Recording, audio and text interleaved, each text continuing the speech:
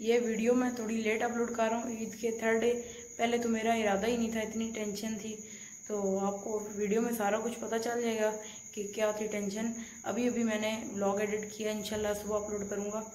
तो sorry for late upload बिसमीम असलकुम मेरा नाम है जैनल खान और आप देख रहे हैं Dani blogs welcome back to another blog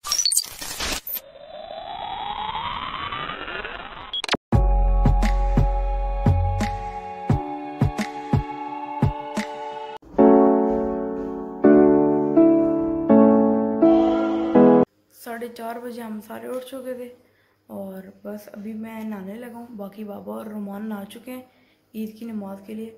नहाते हैं, फिर उसके बाद कुछ खाएँगे, पियेंगे और फिर ईद की नमाज़ के लिए जाएँगे क्योंकि खा के पी के ईद की नमाज़ के लिए जाना सुन्नत है। तो पहले नहाते हैं। अल्लाह नहा के मैंने न्यू कपड़े पहन लिए ईद की नमाज़ के लिए। मौसम बहुत प्यारा हो गया है, बारिश हुई है रात को, बहुत तेज़ वाली। अभी कुछ लाइट सा खाते हैं और टाइम हमारे पास नहीं है, बीस मिनट रह गए ईद की नमाज़ में। तो जल्दी से फिर चलते हैं। कुछ लाइट से खा भी लिए। सारे भाई अबू बाबा, हम सारे एक साथ चलते हैं। ईद की नमाज़ के लिए दस मिनट रह गए पीछे। लेट ना हो जाए। भाई, बच्चू ज़बर करो, हम नमाज़ पढ़ के आते हैं, फिर तुम्हें बताते हैं। ओ, रोना शुरू हो गया। बाय बाय इनके कुछ घंटे रह गए। तकरीबन दो तीन घंटे रह गए इनके। शोया बहुत प्यारी वाली देखें। फुल इतनी प्यारी हवा चल रही है। मौसम बहुत प्यारा हुआ है ईद के दिन।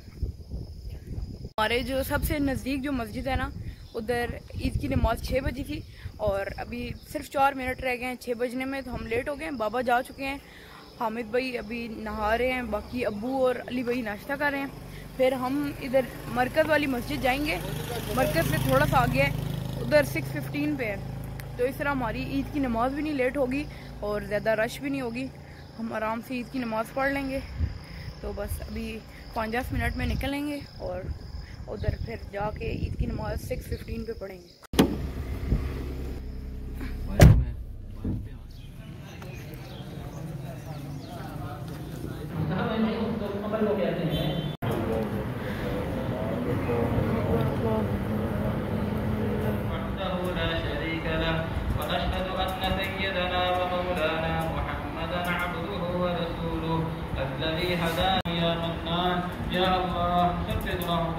फरमा, या अल्लाह सबकी दुआओं को कबूल फरमा, या अल्लाह पूरे मुल्क में जहाँ जहाँ की नमाज़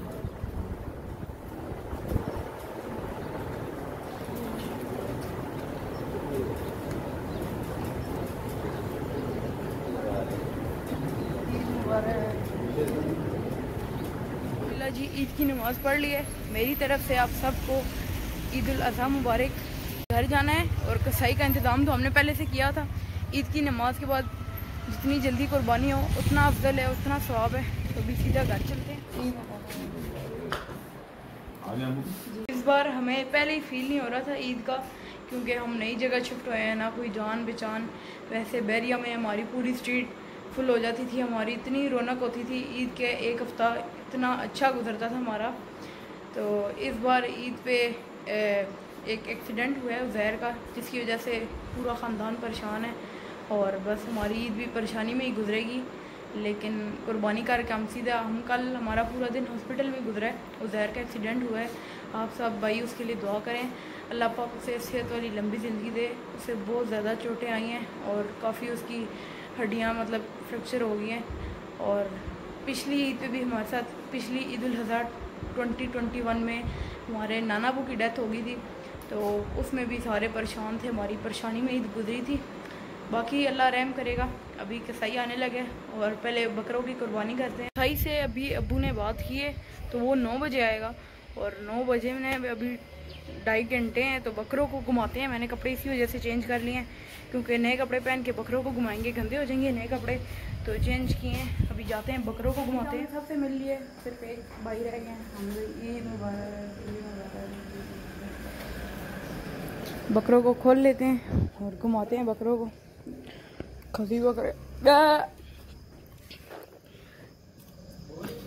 यार ओए इधर करना खोलने देना वरना मैं खाओ भाई no sleep, no rest. Might crash, might wreck, but first I stretch. I don't run it on.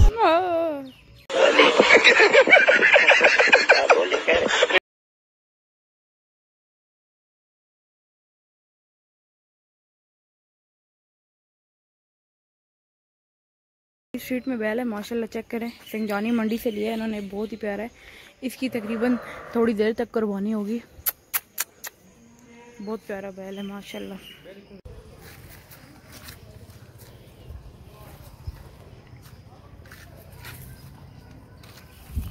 Height इसकी मेरे से भी लंबी है। खिलाओ भाई खिलाओ इन्हें सही खिलाओ। एक ये खा रहा है एक वो सामने अली भाई लेके यहाँ से घास खा रहा है बेरी। खा लो खा लो जितना खा सकते हो खा लो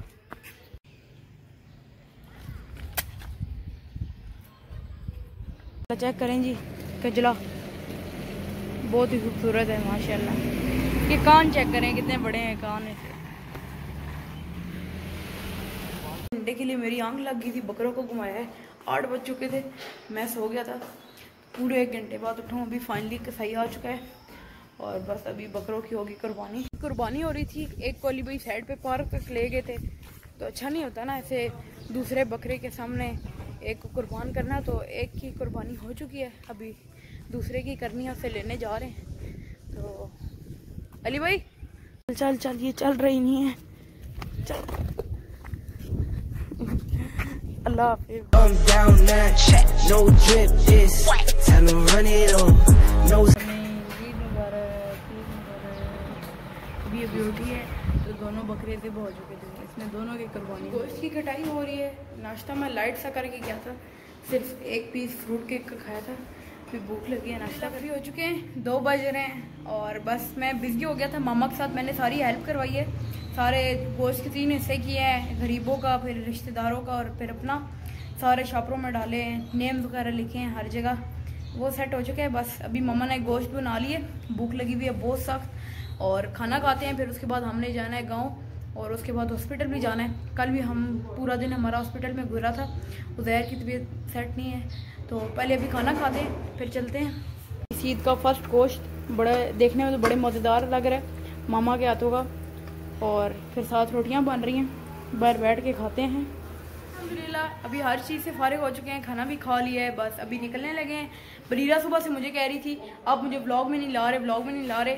सुबह जब मैं रेडी था तब ये सोई हुई थी फिर उसके बाद मैंने कपड़े चेंज किए ये रेडी हो गया है। अभी हम दोनों एक साथ रेडी हैं तो अब बरीरा को भी ब्लॉग में ला रहे हैं। क्या है बरीरा कैसी जा रही है ईद? बहुत अच्छी। अभी तक तो ये घर में इंजॉय कर रही है अभी हमने जाना है नाना के घर। उधर सबको मिलेंगे फिर उसके बाद मैंने आपको बताया हॉस्पिटल जाना है। अभी रेडी हैं बस निकलते हैं।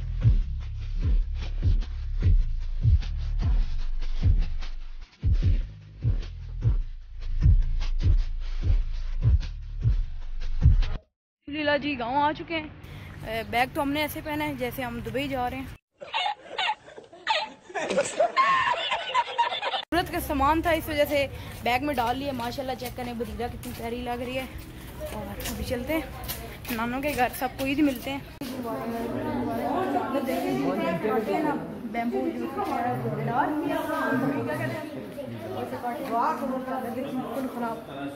बिज़ी हूँ, एक घंटे के लिए तकरीबन। सारा जो ख़ानदान में और गरीबों में गोश्त बांटना है, वो बांटना हमने स्टार्ट कर दिया, मैं और रोमान। कुछ दूर जो है वो मामू के बाइक पे जाएँगे और कुछ नज़दीक है, वो पैदल। ईद भी ईद लग रही नहीं है, हम नानों के घर आए हैं, इधर सबको ईद मिले।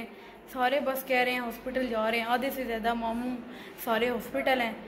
कोई गोश्त वगैरह नहीं बांट रहा, कोई किसी के घर नहीं आ रहा, सारे बस हॉस्पिटल ही जा रहे हैं। अल्लाह पाक खैर करे। तो बहुत ही टेंशन है, सब रो रहे हैं, दुआएँ कर रहे हैं। आप सब भी दुआ करें उज़ैर के लिए। अल्लाह पाक उसे सेहत वाली लंबी ज़िंदगी दे। उसे बहुत चोटें आई हैं, बहुत उसकी हड्डियाँ फ्रैक्चर हो गई हैं, बहुत ज़्यादा। मेरा तो दिल ही नहीं कर रहा कि मैं व्लॉग कंटिन्यू करूँ। अभी हमने जाना है हॉस्पिटल भी। तो सारे बस यही तैयारी कर रहे हैं, उसे हॉस्पिटल जाके देखना है, उसके घर जाना है।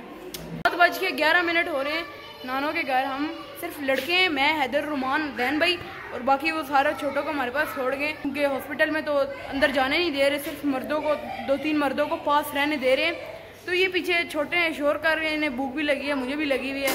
तो भी हम चीज़ें जा रहे हैं, कुछ खाने पीने के लिए ले आते हैं। फिर कुंडियाँ वगैरह हम लगा जाते हैं। तो अभी निकलते हैं, चीज़ें से कुछ लाते हैं, देखते हैं, कोई अच्छा सा मिल जाता है खाने के लिए।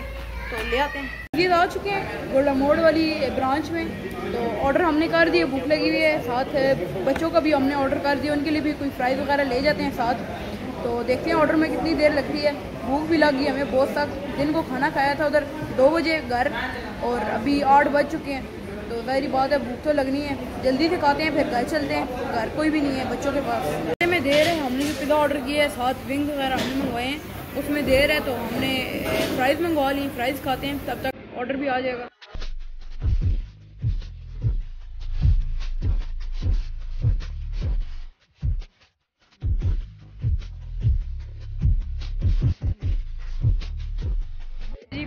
पेट भर के हमने खा लिए।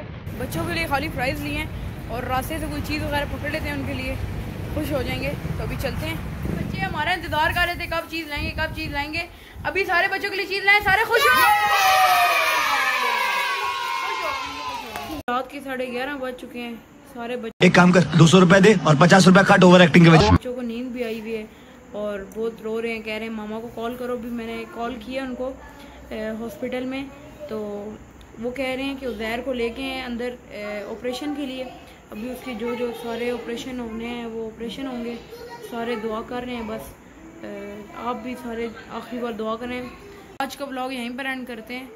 आज मेरे से, मेरी आपसे कोई अपील नहीं है कि आप लाइक करें सब्सक्राइब करें, बस आपसे यही अपील है।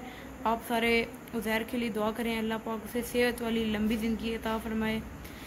अल्लाह हाफिज़।